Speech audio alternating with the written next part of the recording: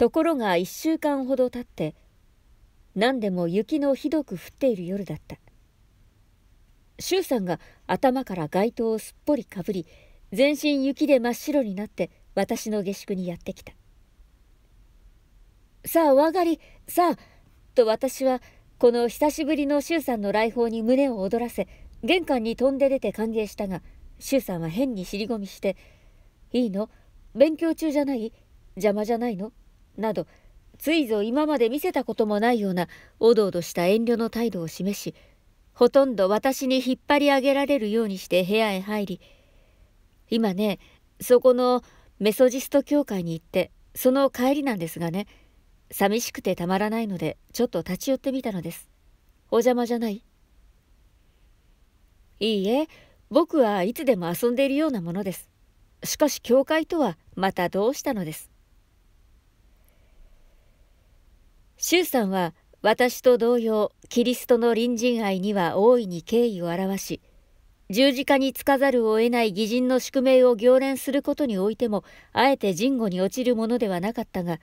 しかしどうも教会の職業的な野祖坊主の偽善化みたいな悲壮な表情やまたその教会に通う若い男女のキザに澄ました態度に辟易して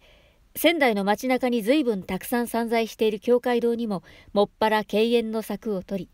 ことに周さんなどは八祖の八祖草木は誠の八祖にあらずと断じ信濃の儒者先生たちが孔孟の精神を歪曲せしめたようにキリストの教えも外国の八祖坊主たちが堕落せしめてしまったのだとさえ語っていたことがあった。それなのに今彼はメソジスト教会に行ってきたという。周さんははにかみながら「いや僕はこの頃クランケなんです」それでみんなにご無沙汰してもう全くアインザームのカラスになってしまいました。でもあの頃は楽しかったですね。松島で一緒に泊まって幼稚な機嫌をあげたりしてと言いかけて目を伏せこたつに潜ったまましばらく黙っていてそれから急に顔を上げ実はね昨日矢島さんが僕の下宿に謝りに来たのです。あの手紙は矢島さんが書いたんですってね。そのいきさつは私も津田氏から聞いて知っていた。矢島君は藤野先生から犯人捜査の依頼を受け、そしてこれからも周さんをいたわってやるように言われ、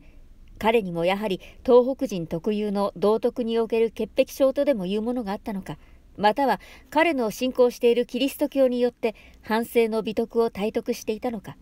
矢庭に泣き出してその手紙の筆者は自分であると自白し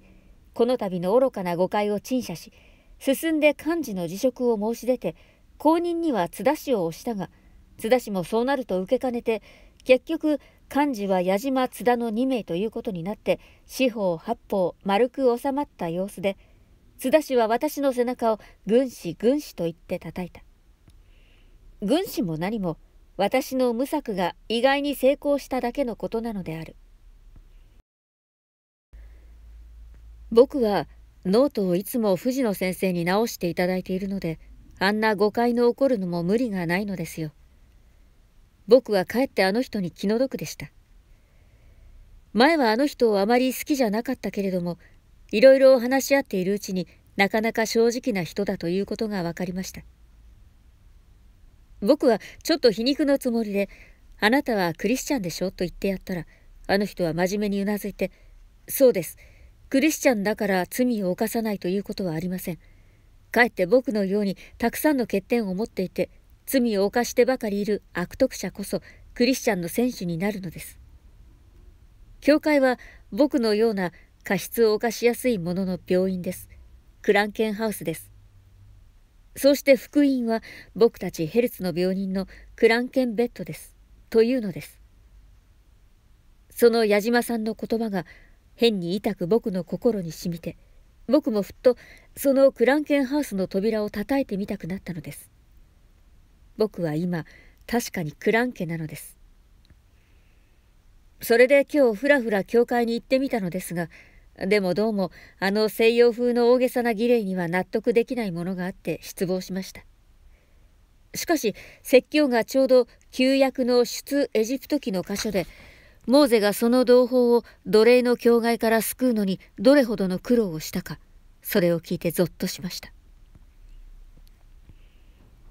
エジプトの都会の貧民窟で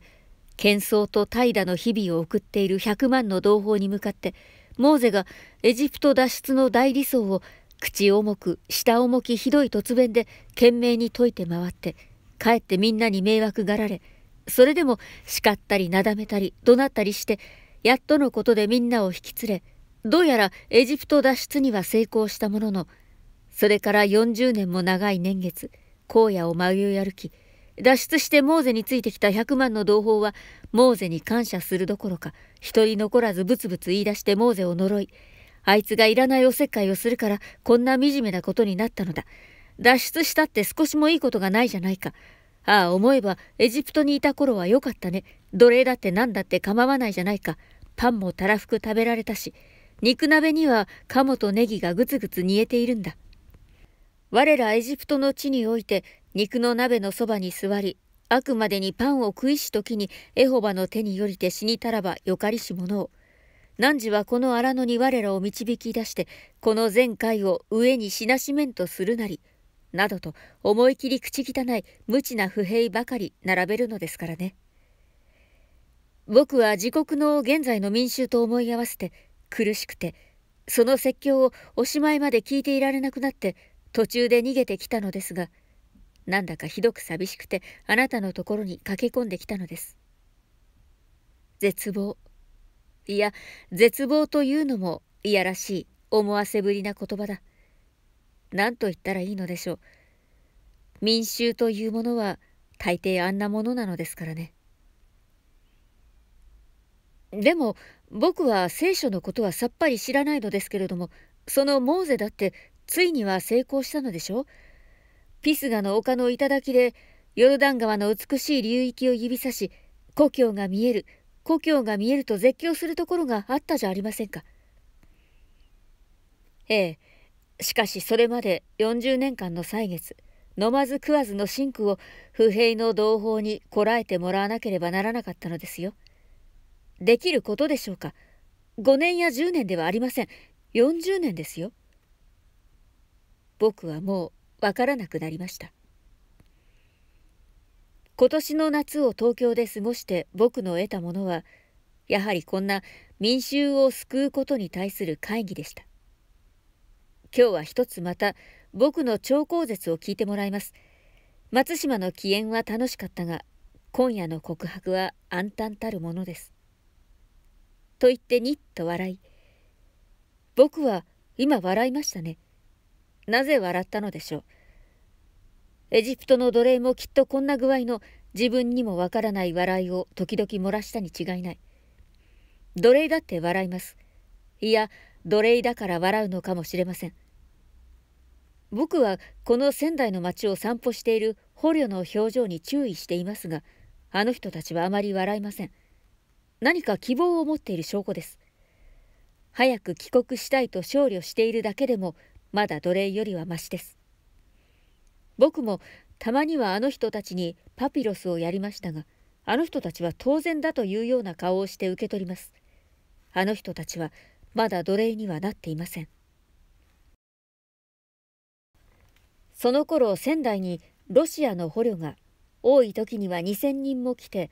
荒町やシンデラ工事付近の寺院それから宮城野原の仮小屋などにそれぞれ収容されていて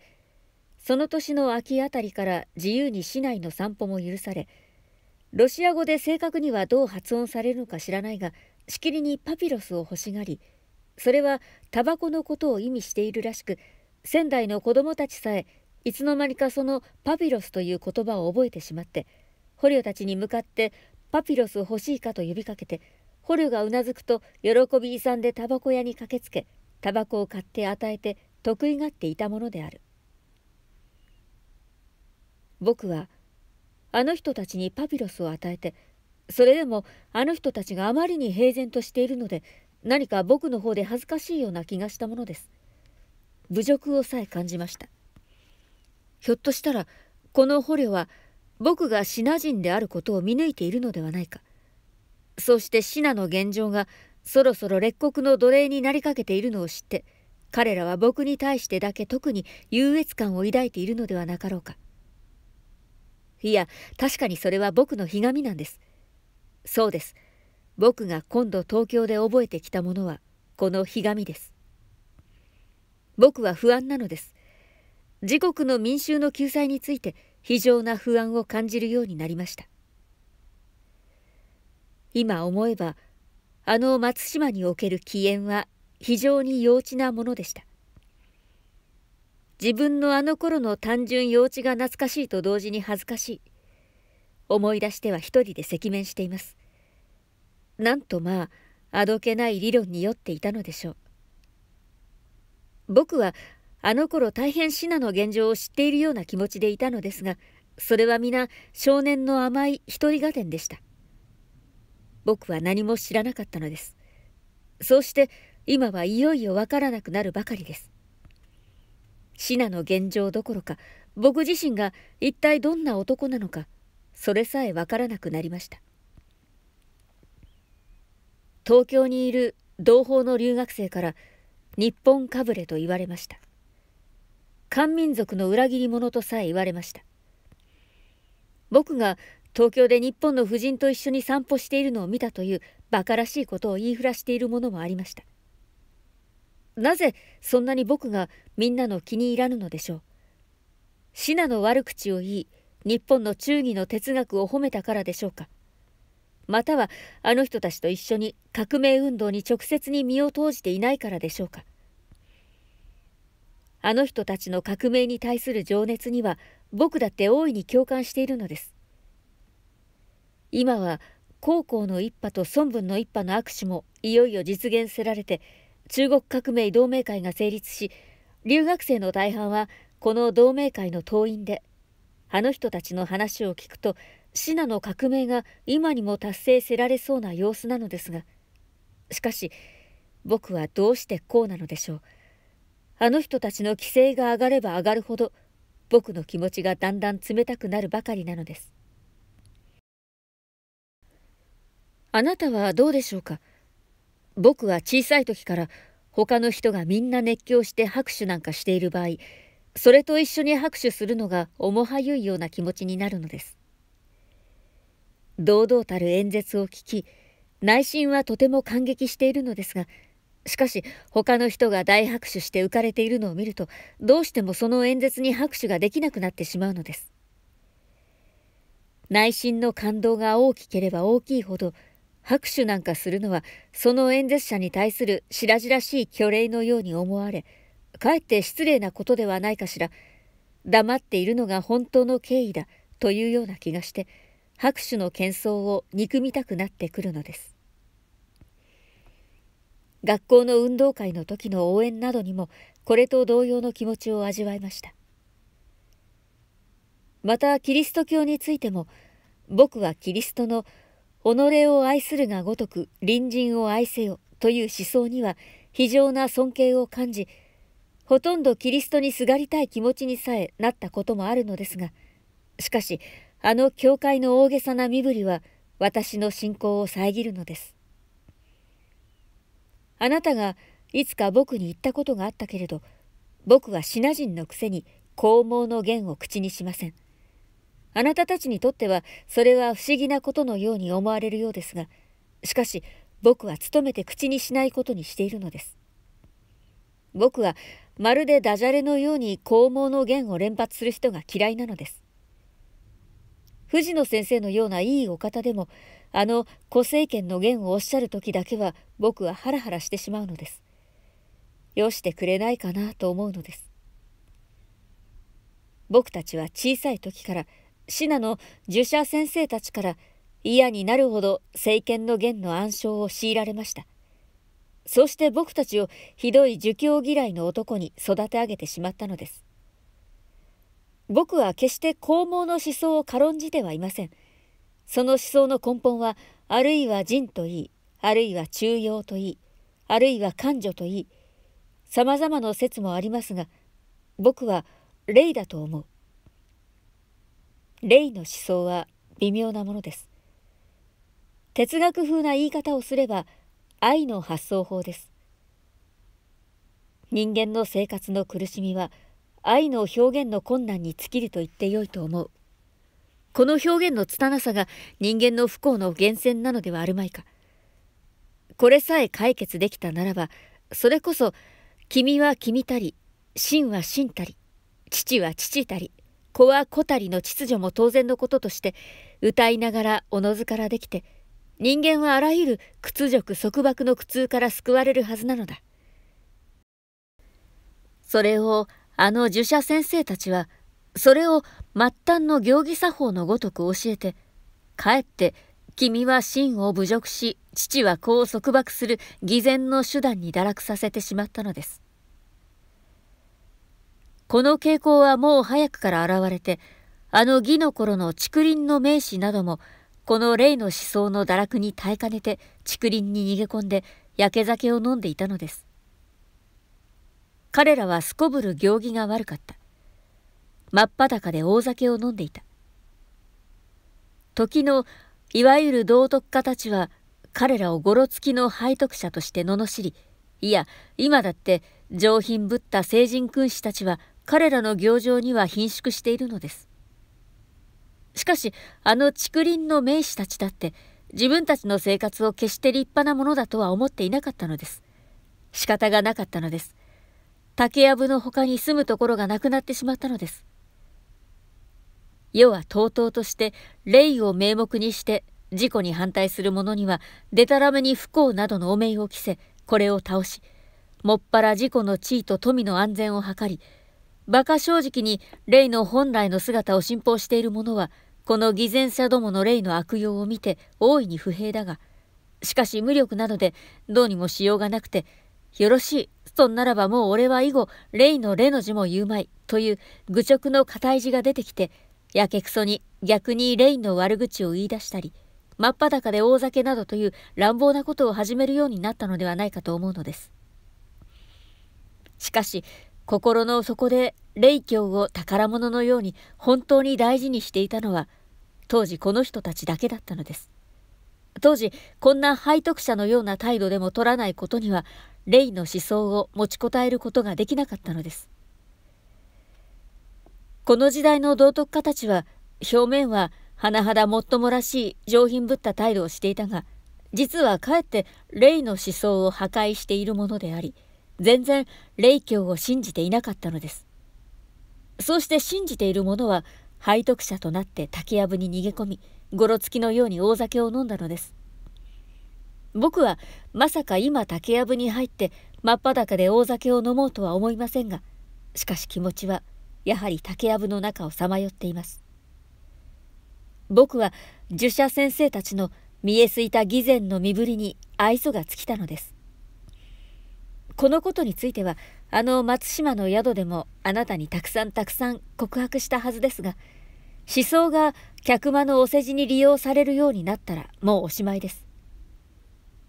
僕はこの不潔な思想の死骸から逃れたくて新しい学問に憧れ故郷を捨てて南京に出たのです。それから後のことも全部あの時松島で話したように思います。しかし僕はこの夏東京へ行ってさらにもっと苦しい深い竹やぶに迷い込んでしまいました。僕にはそれが何であるかわからない。いや分かっていてもそれをはっきり言うのは恐ろしい。もし僕の疑惑が不幸にして当たっていたら僕は自殺するより他はないかもしれない。ああこの疑惑は僕の妄想であってくれたらいい。はっきり言いましょう。僕はこの頃同胞の留学生たちの革命運動にさえあの不吉な大げさな身振りの匂いをふっと感じるようになったのです。熱狂の身振りに調子を合わせていけないというのが僕の不幸な宿命かもしれない。僕はあの人たちの運動は絶対に正しいと思う。僕は孫文を尊敬している。三民主義を信奉している。それこそ宝物のように大事にしている。これが僕の最後の頼みの綱だ。この思想にさえ見放されたら僕は浮き草だ。奴隷だ。それなのに僕は今あの竹林の名士の運命をたどりかけているのだ。僕は随分努力した。留学生たちの情熱は決して間違ってはいないのだ。一緒に叫んでやったらどうだ。照れくさいの何のというのはお前の虚栄だ。お前には少し不健康な虚無主義者の匂いがあるぞ。お前の顔にはあの奴隷の微笑が現れかけているぞ。気をつけろ。お前の心から暗黒を放逐し不自然でも構わぬ。明るい光を添えてみろ。と自身を叱り鞭打って自分の航路を規定したく舵を釘付けにする気持ちでよっぽど僕は革命の党員にしてもらおうかとさえ思ったのですがしかしと言いかけ急にそわそわしだして「何時ですか？もう遅いんじゃありませんか?」私は時刻を告げた「そうですか。もう少しお邪魔させてもらってもいいですか?」と醜い卑屈の笑いを浮かべて僕はこの頃人の気持ちがわからなくなってしまいました。信濃者同士でもわからないことが多いのにまして国籍をことにしている人と人との間ではわからないのは当然でしょうけれど僕はあなたに今まで少し甘えすぎていたような気がするのです。あなたばかりではない。藤野先生にもまたこの下宿の父さん母さんにも僕は少しいい気になりすぎていました。僕は矢島さんなどのあんな手紙がかえってさっぱりしていていいと思うのです。シナ人は劣等だからいい成績が取れるわけはないとはっきりした態度を示してくれる。そうするとこちらの気持ちも決まって助かります。温情はどうも辛くていけません。これからあなたもどうか思った通りのことを僕に言ってくださいよ。この下宿ではこんなに遅くまで僕なんかが話し込んでいると嫌がるんじゃないですか？大丈夫ですか？私は黙っていた。こんなにいやらしく遠慮するお客ならばあるいは下宿の人たちも嫌悪するかもしれないと思った。怒ったようですね。僕はでもやっぱりあなたにだけは安心しているようです。松島以来あなたには随分つまらぬ愚痴ばかり聞いてもらいました。医学旧国かと言ってふんと笑い幼稚な三段論法をでっち上げたものです。あんなのをへりくつというのですね。科学。どうして僕はあれほど科学を畏怖していたのだろう。子供がマッチを喜ぶ類でしょうかね。いじらしいものだ。しかし子供がそのまま科学の武器を使用したらどんなことになるかな。かえって悲惨なことになるかもしれない。子供は遊ぶことばかり考えていますからね。病気を治してやってもすぐまた川へ水浴びに行ったりして病気をぶり返して帰ってきますからね。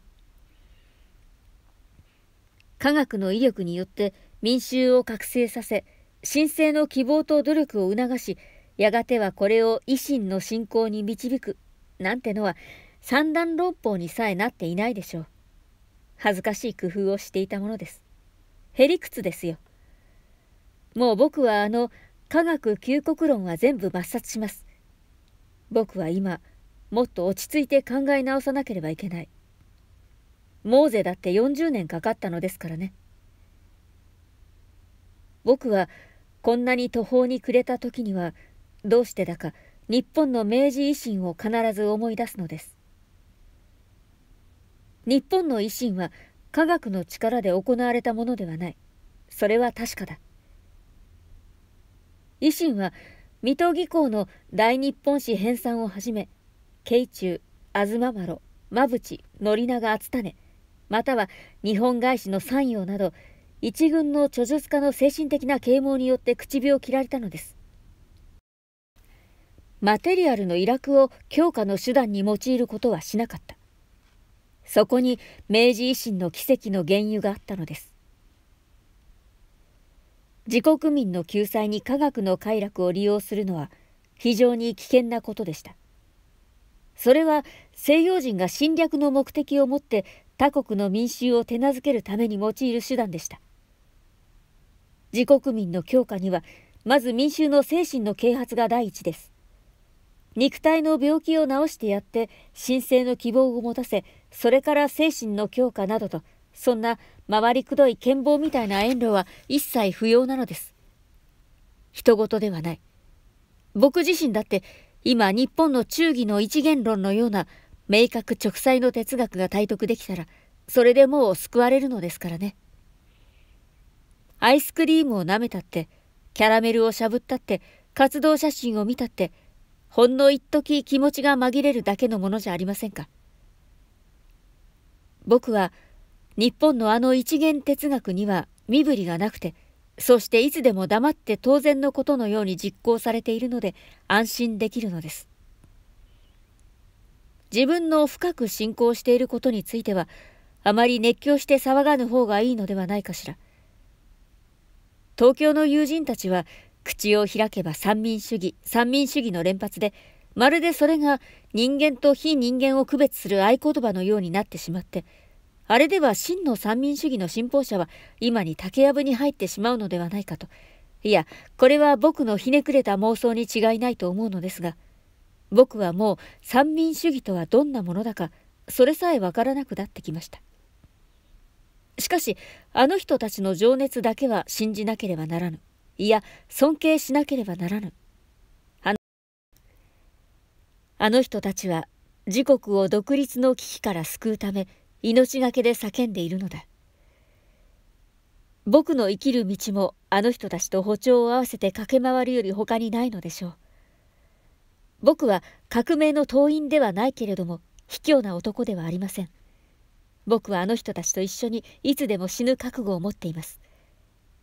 僕の船の舵は僕がそれを望むか望まぬかにかかわらずもうすでに一定の方角に向かって釘付けにされてしまっているようにも思われる。僕は今はあの人たちの何か役に立たなければならぬ。それにはまずどうしたらいいかと思うとたちまちまた憂鬱な竹やぶが眼前に現出してくるのです。あの人たちは僕を民族の裏切り者と言っています。日本かぶれと言っています。しかし僕にはあの人たちこそ民族を裏切らなかったら幸いだと思っています。つまり僕には政治がわからないのでしょう。僕には党員の増減や幹部の顔ぶれよりも一人の人間の心の隙間の方が気になるのです。はっきりと言えば僕は今政治よりも教育の方に関心を持っているのです。それも高級な教育ではありません。民衆の処方教育です。僕には独自な哲学も宗教もありません。僕の思想は貧弱です。僕はただ僕の一筋に信じている孫文の三民主義を分かりやすく民衆に教えて民族の自覚を促してやりたい。まあ考え詰めると僕があの人たちの仲間としてわずかでもお役に立ちうるのはそんな極めて低い仕事においてだけだというような気がしてくるのです。しかしこれだって僕のような無能者には決して楽な仕事ではありません。僕は一個の医者にはまあ皆から助けられてどうやらなれるかもしれませんが教育者はどうでしょうか民衆の教育には日本の維新の例を見ても著述によるのが最も効果的のようですがしかし僕の文章はまるでなっていません。信濃の過ぎた玄白よりも信濃の来三陽になるのは僕には100倍も難しいような気がします。結局政治家も医者も教育者も何もかも全部僕にはおぼつかなくて今日は教会にクランケンベッドを求めて出かけ縁起でもない奴隷の話なんか聞かされて仰天してあなたのところへ飛び込んでこんなバカバカしい長話なんかして僕はまるでもう同系役者のようですね。失礼しました。退屈したでしょう。もうこれで同系役者は退場です。下宿の人たちはまだ起きているようですね。案外僕の話に耳を澄ましていたんじゃないですか。あのシナ人何をあんなにしゃべくっているのだろう。気味が悪い。早く帰らないと戸締まりすることもできない。不用心だ困る。なんてね。僕は変わったでしょ？あなただけは分かってくれると思うのですがどうだかな？僕はこの頃誰をも信じないことにしたのです。じゃあさようなら。お願いがあります。玄関の外で1分間だけ立っていてください。周さんは変な顔をしたがわずかにうなずいて外へ出た。私は下宿の家族の者たちの今に向かって大声で「おばさん周さんは帰ったよ」あら傘をお持ちになればよかったのに。それだけである。あっさりしたものだ。我が意を得たりである。私は玄関の外に立ってこの私たちの会話を聞いているはずの周さんに会いに行ったら周さんはいなくて暗闇にただ雪がしきりに降っていた。所詮は40年昔の話である。私の記憶にも間違いなしとは言えない。しかし一国の維新は西洋の実利科学などによらず民衆の処方教育に力を尽くしてその精神をまず改造するにあらざれば成就しがたいのではあるまいかという疑問を周さんの口から最初に聞いたのは確かにあの大雪の夜であったと覚えている。この周さんの疑問はやがて周さんをして文章に関心を持たしめ後に至って文豪魯人の誕生の隠喩になったとも考えられないことはないであろうがしかしこの頃皆の言っているようにいわゆる幻冬事件によってその疑問が突然周さんの胸中に湧き起こったという説は少し違っているのではなかろうかと私には思われる。人の話によれば後年魯人自身も先代時代の追憶を書きそれにもやはりそのいわゆる幻冬事件によって医学から文芸に転身するようになったと格言しているそうであるがそれはあの人が何かの都合で自分の過去を死者誤入し感銘に整理しようとして書いたのではなかろうか。人間の歴史というものはたびたびそのように養老よく編み直されて伝えられなければならぬ場合があるらしい。どんな理由でロジンが自分の過去をそんな具合にいわば劇的に仕組まなければならなかったか。それは私にもわからない。ただ彼がその自分の過去の説明を行った頃のシナの情勢または日誌関係またはシナの代表作家としての彼の位置そのようなところから注意深くたどっていったらあるいは何か趣向するに足るものに到達できるのではなかろうかとも思われるのだが鈍根の私にはそんな細かな休憩はおぼつかない。美女がくるりと一回転すれば鬼女になっているというのは芝居にはよくあることだがしかし人間の生活においてそんな鮮明な転換はありえないのではなかろうか。人の心の転機は他の人にはもちろんわからないしまたそのご本人にもはっきり分かっていないものではなかろうか。多くの場合人はいつの間にやら自分の体内に異なった血が流れているのに気づいて愕然とするものではあるまいか。いわゆる幻冬事件というものもその翌年の春確かにあった。しかしそれは彼の転機ではなくむしろ彼がそれによって彼の体内のいつの間にやら変化している血液に気づく小さいきっかけに過ぎなかったように私には見受けられたのである。彼はあの幻冬を見て急に文芸に志したのでは決してなく一言で言えば彼は文芸を前から好きだったのである。これは俗人の極めて凡庸な判断で私自身さえ興ざめるくらいのものだがしかし私などにはどうもそうとしか思われない。あの道は好きでなければやっていけるものでないような気がする。そうして彼のかねてからの文芸愛好の情に油を注いで燃え上がらせたいたずら者としてあの一枚の幻灯の画面をうんぬんするよりはむしろ日本の当時の青年たちの間に沸騰していた文芸熱を上げた方がもっと近道なのではあるまいかとさえ私には思われる。当時の日本の文芸熱ときたらそれは大変なもので文芸を断でずば人にあらずといったような猛省で仙台においても女学生たちは読んでいるのかどうだかわからぬが詩集やら小説本やらを得意そうに抱えてかっ歩し正金派とか言うのであろう。大抵眼鏡をかけていかにも神経質らしく眉を潜めてやぼったい風俗の私たちを睨み分子劇などもしばしば仙台の劇場で開演せられ俗物の私もついにその激流にこうしかねて東村の新大使などをこっそり覗いてみるというようなありさまで東北の仙台でさえそのような静観であったのだから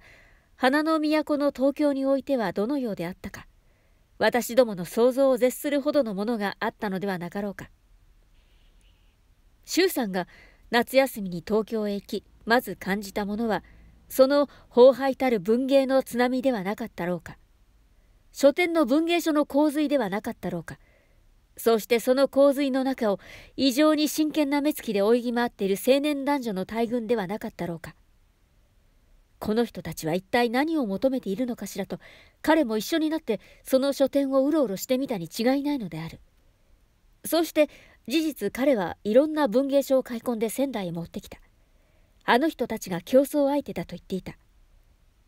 彼の文芸熱がこうして徐々に燃え上がってくると同時にまた常に彼の胸中に去来して寸時も離れないものは自国の青年たちの革命の絶叫である。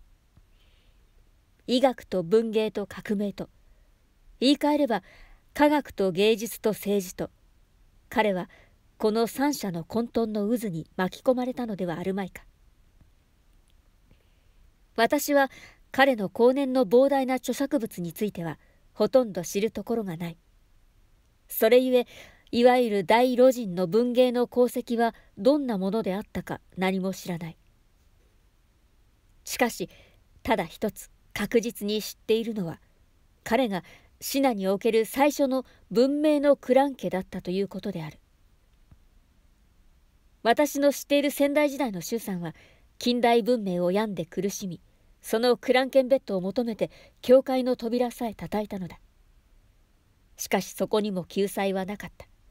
例の身振りに辟易したのだ王能の果てにはあの気品の高い正直な青年が奴隷の微笑をさえ頬に浮かべるようになったのだ。混沌の特産物である自己嫌悪。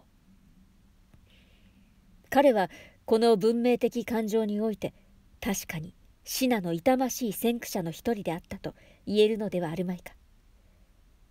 そうしてこの苦しい内政の地獄がいよいよ百貫の絵図とも言うべき文芸に接近させたのではあるまいか。もとより好きな道である。困憊の彼はこの病床に這い上がり少しく安堵を覚えたのではあるまいか。もとよりこれは私の俗な独断である。人の心理の説明はそのご当人にさえうまくできないものらしいしまして私のような鈍細無学の者には他人の気持ちなど分かりっこないのであるがしかし後節の路人の天気は私にはどうしても少し腑に落ちないところがあるのであえて苦手の理屈を大骨折りで述べてみた次第である。その大雪の夜から一月ほど経って確かあれは明治39年のお正月頃のことだったように思う。その頃周さんが1週間ばかり教室に顔を見せなかったことがあったので津田氏に聞くとお腹を壊して寝ているという。それで私は学校からの帰り周さんの下宿にお見舞いに立ち寄ってみた。周さんはいくらか病人らしい青い顔をしていたが私が行くとすぐ起きて私の精子も聞かずさっさと布団を畳み「何？もういいのです」津田ドクトルのお見立てではペストの疑いがあり絶望を宣告されたのですが非常な誤診でした。お正月に数の子を食べ過ぎただけなんです。日本はどうもお正月にはかえって数の子だの豆だのわざと粗末な食べ物ばかりで祝うのですからね。痛快な国ですよ。私は辺りに散らばっているたくさんの書籍を見渡した。ほとんど全部が文芸の書である。ドイツのレクラム本が最も多かったがまた日本の森鴎外上田瓶双葉亭志明などの著作物も混じっていた。文芸はどこの国のがいいですか？と私は周さんと向き合ってこたつに潜り例のごとく愚問を発した。さあと周さんはその日はひどく快活に文芸はその国の反射鏡のようなものですからね。国が真剣に苦しんで努力している時にはその国からやはりいい文芸が出ているようです。文芸なんて重弱男女のもてあそび者で国家の損発には何の関係もないように見えながらしかしこれが的確に国の力を表しているのですからね。無用の用とでも言うのでしょうか。馬鹿にならんものですよ。僕はエジプトやインドの文芸はどんなものだか知りたくて随分東京のあちこちの本屋へ行って探してみたのですが一冊も見つかりませんでした。インドなどはシナなんかよりもっと古い文明のあった国なのですから今誰か一人民族の誇りに目覚めて他民族の圧迫にこした文芸を試みていそうな気もするのですがね。僕はどうもただ理屈っぽいばかりで詩や小説の才能が貧しいように思われますからまあそんな圧迫されている民族の犯行の作品など探し出して品語に訳し僕の同胞に読ませてやりたいと思っているのです。しかし翻訳だって文章が下手ではしようがありませんからね国にいる僕の弟の作人は失礼ながら笑い顔などあなたにちょっと似ているのですが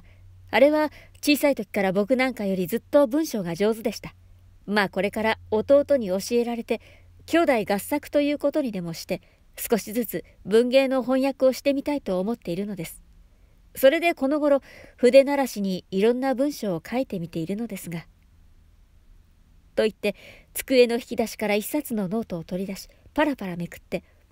「こんなのはどうでしょうか。いやご覧になってもシナの文章ではお分かりにならないでしょう。一箇所だけ日本文に直してみましょうか」彼は便箋に何の苦もなくすらすら数行書き流しそれから急に顔を赤くしてためらいながら私にそれを手渡した。私は一読して名文だと思った。私はその日無理にその紙をもらって帰った。なぜかしら記念という気がしたのである。周さんと間もなく別れてしまわなければならぬのだということをその時はっきり予感していたわけではなかったが虫の知らせというものであろうかなぜかその一枚の紙片に奇妙な執着を感じたのである。私はその後長くその紙片を私のノートに挟んで教室で講義に退屈した時などこっそり取り出してその名文を愛称し遠く離れた周さんを懐かしんだものだが卒業間際にある学友から取り上げられてしまって今思うと実に惜しいのである。それはまあ後の話であるがその時の文章は当時私の反復愛称したものであるから今でも大体を記憶している。何でも文章の本質とかいう題で文章の本質は個人及び国の存立とは継続するところなく実利はあらず給利また損せず。故にその功たるや地を増すことは市場にしかず人を戒むるは格言にしかず富をいたすは交渉にしかず巧妙を売るは卒業の剣にしかざるなり。ただ世に文章をありて人すなわち持って具足するにほとほとし幻冬長くとどまり春季至らず亡骸いくるも精神はしずるがごときは生くるといえども人の行くべき道は失われたるなり。文章無用の用はそれここにあらんか。記憶力の悪い私のことであるからあるいは23覚え違いがあるかもしれないが語調の弱いような箇所をそれだと思い実物はこの10倍も見事な名文だったのだろうという具合にご想像願うことにしよう。この短文の論旨はあの人がかねて言っているような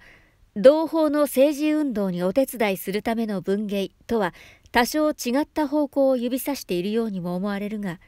しかし無用の用という言葉になかなかの眼蓄が感じられる結局は用なのであるただ実際の政治運動のごとく民衆に対して強力な指導性を持たず徐々に人の心に浸潤しこれを充足せしむる用をなすものだというような意味ではなかろうかと思われる。文芸に対するこのような解釈は私には少しも大英的なものとは考えられない。かえって非常に健全なもののように思われる。このような生き方ならば私たち文芸の門外観にもその大きい実力がぼんやり感じられてくるのである。その日であったかまた別な日であったか周さんはさらにこんな即興の例え話でもって私を啓発してくれたことがあった。ナンパして自分の身が怒涛に巻き込まれ海岸に叩きつけられ必死にしがみついたところは灯台の窓縁やれ嬉しやと助けを求めて叫ぼうとして窓の内を見ると今しも灯台森の夫婦とその幼い女児とがつつましくも幸せな夕食の最中だったのですね。ああいけないと男は一瞬戸惑った。遠慮しちゃったのですね。たちまちどぶんと大波が押し寄せその内気な遭難者の体をひと飲みにして沖遠くらし去った。とまあこんな話があるとしますね。遭難者はもはや助かるはずはない。怒涛に揉まれて、ひょっとしたら吹雪の夜だったかもしれないし、一人で誰にも知られず死んだのです。もちろん東大森は何も知らずに一家団らんの食事を続けていたに違いないし、もし吹雪の夜だとしたら、月も星もそれを見ていなかったわけです。結局誰も知らない。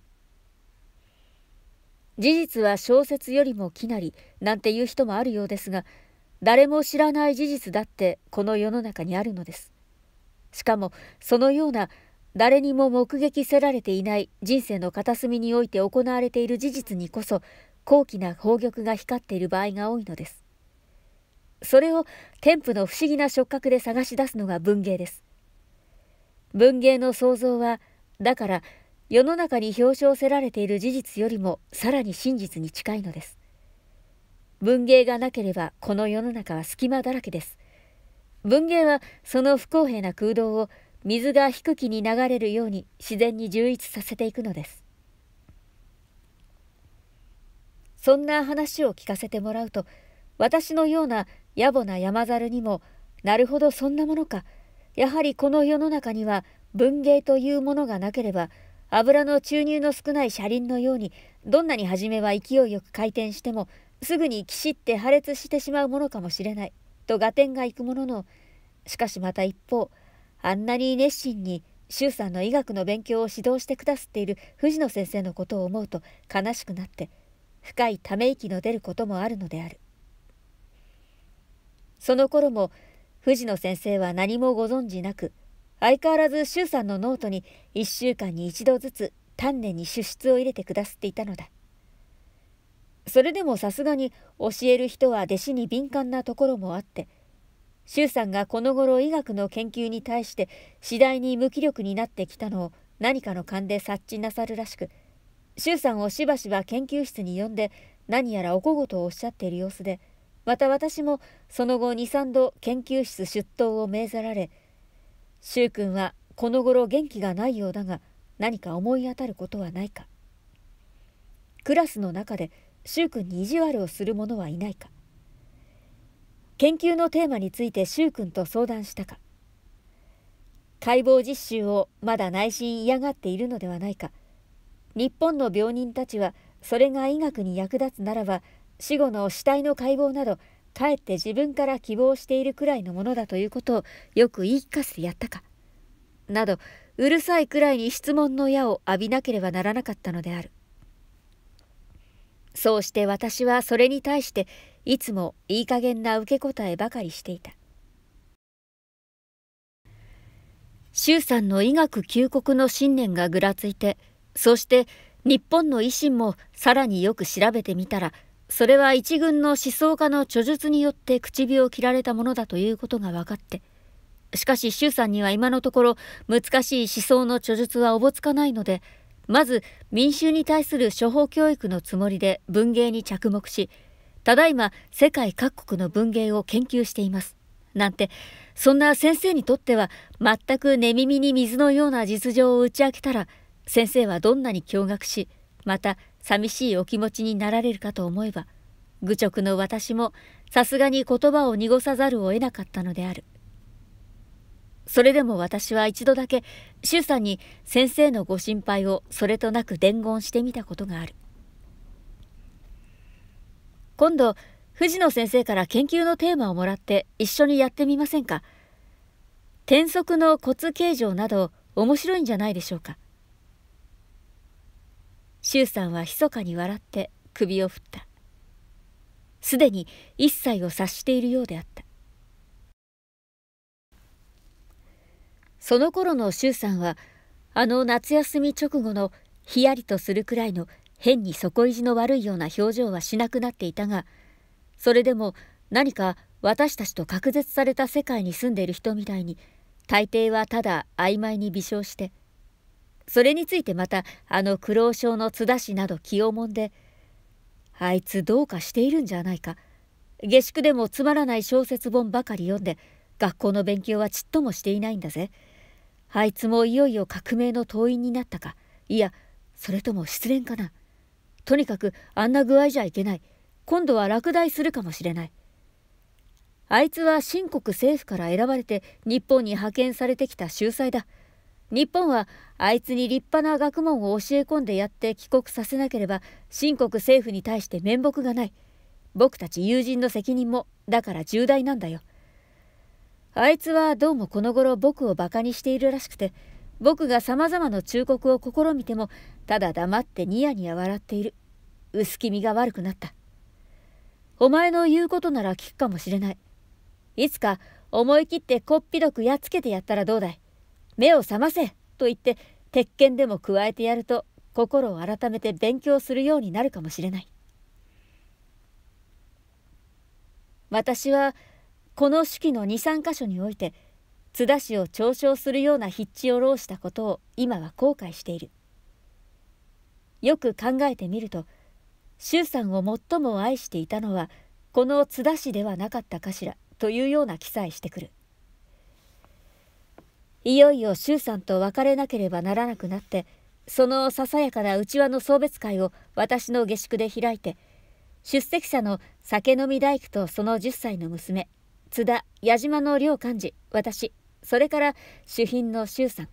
みんな立って今思えば吹き出したくなるくらいの声楽の大天才ぞろいの珍妙極まる合唱を行い仰げば尊し我が師の恩。教えの庭にも早幾とせ。思えば意図としこの年月今こそ別れ目いざさらば。互いにむつみし日頃の恩別るる後にもやよ忘るな」など歌っているうちに真っ先にくるりと後ろを向いて泣いてしまったのはこの津田氏であった。口では何のかのと威勢のいいことを言っていながらやっぱり周さんと別れるのが誰よりも寂しかったのだろう。私は津田氏と付き合ってこんないい反面を見るにつれて以前ほど都会人というものを恐ろしくもまた嫌でもなくなった。またあの田舎ダンディと誤解せられていた矢島君もその後付き合ってみるとただひどく真面目な人でいつか周さんが仙台の人について批評していたように東北の夕飯の責任を感じて固くなっているだけなのである。仙台の面目とでもいうようなものにこだわりすぎてそれで初対面の挨拶が堅苦しく尊大にさえ見えるのであるがこっちの方から遠慮なく突っ込んでいくと急にはにかんでなかなか親切な気前のいいとこを見せてくれる。心の弱いのを隠そうとしてあんな尊大の挨拶をするのではなかろうかと思われる。周さんに対してあんなまずい手紙を突きつけたのも決してシナの人が劣等だからという侮辱の意味ではなくてかえってシナの秀才に対する畏敬の気持ちも含まれていたのではなかろうかとさえ思われる。敬愛の念がぎくしゃくと奇妙に盗作してついに仙台侮るべからずとでも言うような張り合う気持ちなどが出てきてあんなまずい手紙を書いてしまったのではあるまいか。真面目な人が変に思い詰めた挙句で書くとあんな具合に書体も機械な金釘流になりやすいものだしまた文章も下手くそを極めるもののようである。要するに真面目な人なのである。その頃周さんが次第に学校の勉強に熱意を失いかけているのを見て取りあるいは自分があんなバカな手紙を差し上げたこともその周さんの不勉強の原因の一つになっているのではあるまいかと非常に気にしているらしく周さんにドイツ語の大辞典を贈呈したり宿題を引き受けてやったりまた学校で講義を聞くときにはいつも周さんの隣に座席を取って何かと世話を焼いている様子であったがしかし周さんは藤野先生をはじめそのようなみんなの懸命の努力にもかかわらずやはり間もなく私たちから去っていった。あれは確か2学年の終わりの頃のことであったと思う。雪も消えてつつじが丘のしだれ桜も咲き始めまた校庭の山桜も粘っこい褐色の若葉とともに重厚な花を開いて私たちはそろそろ学年末の試験準備に着手していた頃であった。あのいわゆる幻冬事件が起こり周さんの懐かしい姿が忽然と私たちの周囲から消えた。前にも言ったように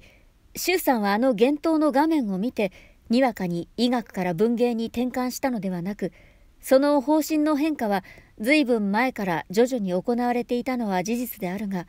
しかしあの幻冬事件は少なくともその総決算の口実の役目を務めたということは認めざるを得ないのである。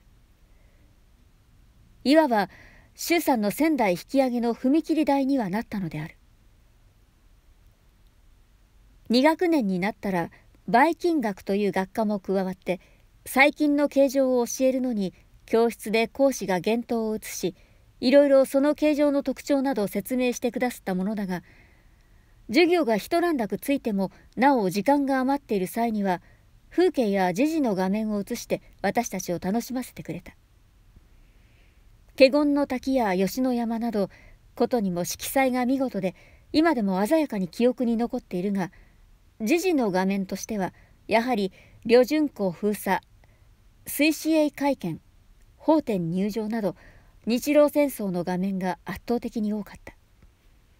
そして私たち学生はそのような勇ましい画面が出ると皆大喜びで拍手喝采したものだ。その学年末のある日のバイキン学の時間にも例によって203高地の激戦とか三笠館とかの画面が出て私たちは大騒ぎで拍手しそのうちに語りと画面が変わって一人のシナ人がロシアの軍事探偵を働いた罪によって処刑される刑が現れた。講師の説明を聞いて私たちはまたも盛んな拍手を送った。その時暗い教室の横のドアをそっと開けて廊下に忍び出た学生の姿を私は認めた。はっと思った。周さんだ。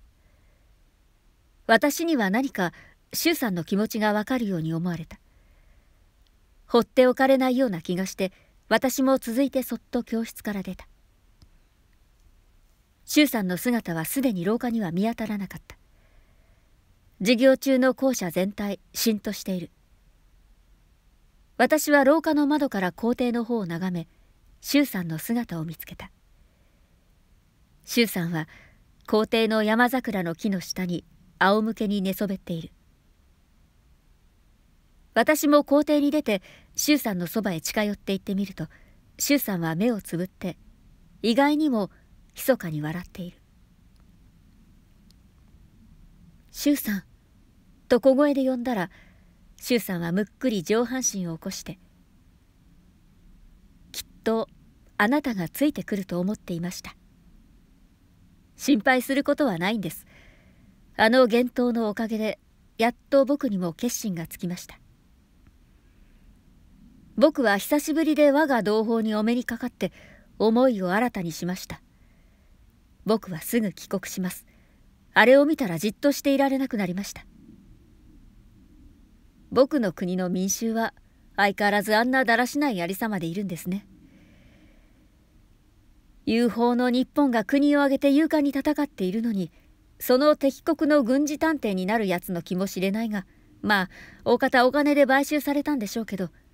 僕にはあの裏切り者よりもあの周りに集まってぼんやりそれを見物している民衆の愚かしい顔がさらにたまらなかったのです。あれが現在のシナの民衆の表情です。やっぱり精神の問題だ。今のシナにとって大事なのは身体の強健なんかじゃない。あの見物人たちは皆いい体をしていたじゃありませんか。医学は今彼らに決して緊要なことではないという確信を深めましたよ。精神の革新です。国民性の改善です。今のままではシナは永遠に真の独立国家としての栄誉を確立することができない。打診交換であろうと立憲であろうとただ政治の看板を変えただけで品物の記事が元のままでは仕方がないじゃありませんか。僕はしばらくあの呆然たる表情の民衆から離れて暮らしていたので自分の心の焦点が決まらないでそれであれこれ迷っていたのですね。おかげで今日は焦点が決まった。あれを見ていいことをしました。僕はすぐ医学をやめて帰国します。私ももはやそれを静止すべきではないと思った。しかし藤野先生がとつい一言口から滑り出た。ああと周さんはうつむいてそれですよ。あの先生の親切を裏切るのが切なくてそれで今日まで僕はこの学校にぐずぐずしていたと言ってもよいのです。しかしと顔を上げてもうしかしやむにやまれないのです。あの同胞の表情を見た以上はもう左近も右弁もしていられません。日本の忠義の一元論もこんなものではないかしら。そうだ僕はやっとあの哲学が体得できました。帰国して僕はまずあの民衆の精神の改革のため文芸運動を起こします。僕の生涯はそのために捧げてしまうのです。とにかく一旦帰国し故郷の弟とも相談して一緒に文芸雑誌を出してそう。その雑誌の名前も今日今はっきり決まりました。どんな名前ですか？神聖。と一言答えて微笑した。その笑いには周さん自ら称していたあの奴隷の微笑のごとき卑屈の影はみじんも見受けられなかった。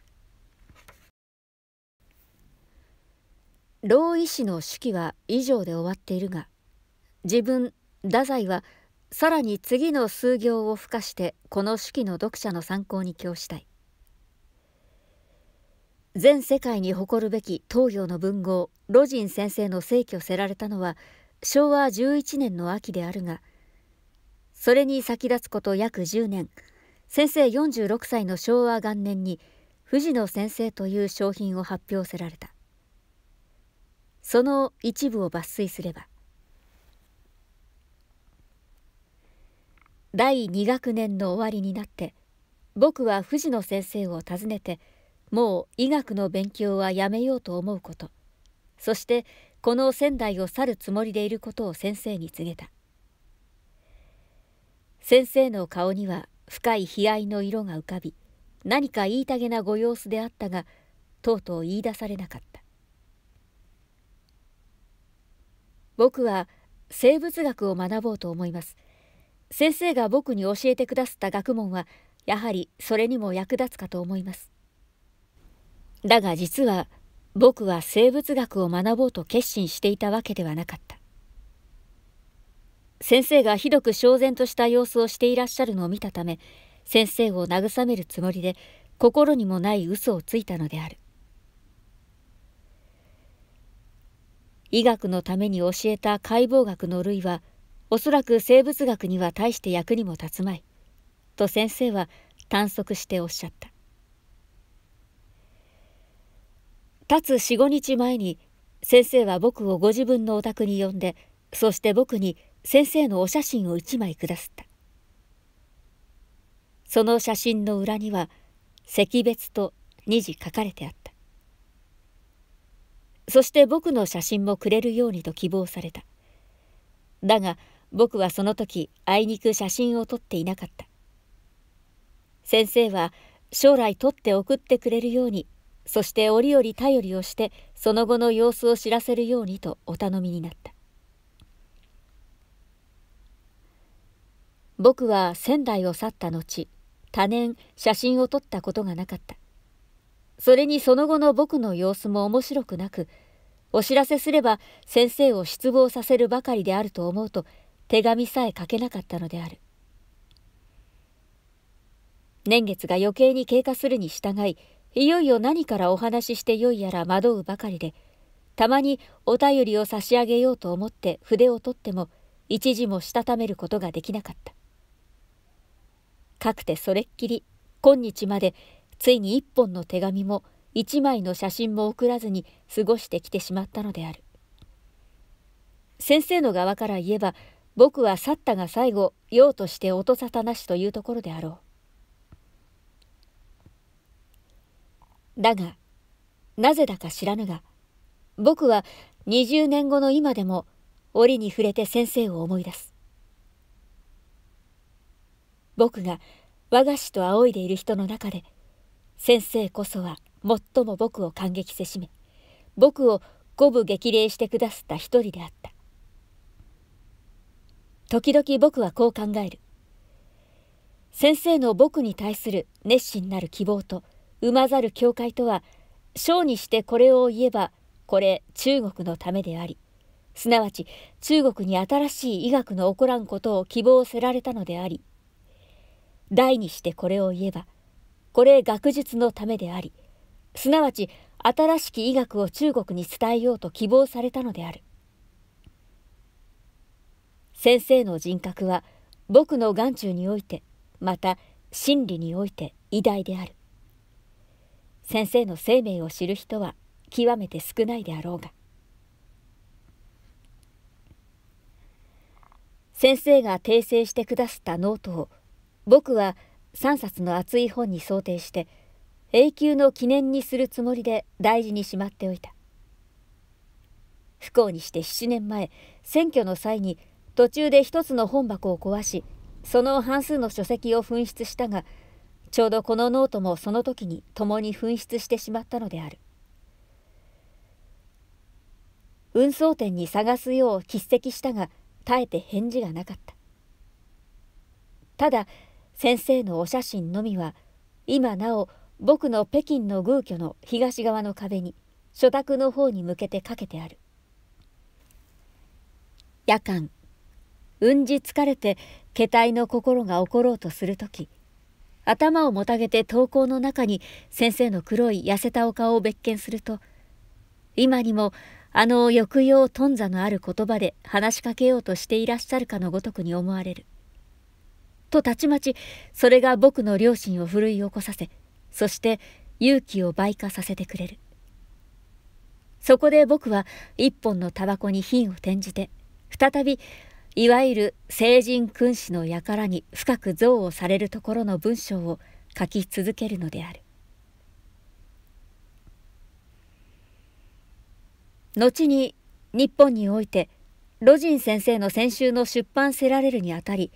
日本の選者は先生に向かってどの作品を選んだらよいかと問い合わせたところが先生は